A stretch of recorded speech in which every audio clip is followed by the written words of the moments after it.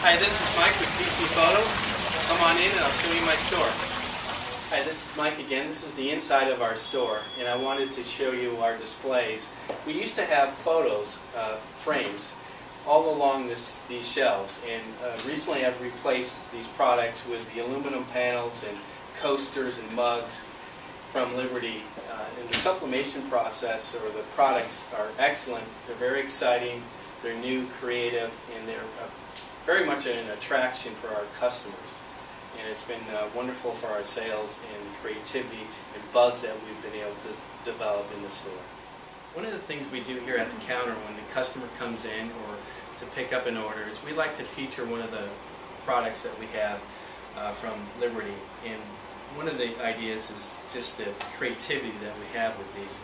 The aluminum panels are, are beautiful products and we show them the back, the front, how they can be hung on the wall and also displayed in an ice block. And also, you know, we have these wonderful coasters, and if they have a, a particular interesting photo, we try to highlight that and what you can do with it. And there's so many choices here with a beautiful photo, what they can do with it in the future.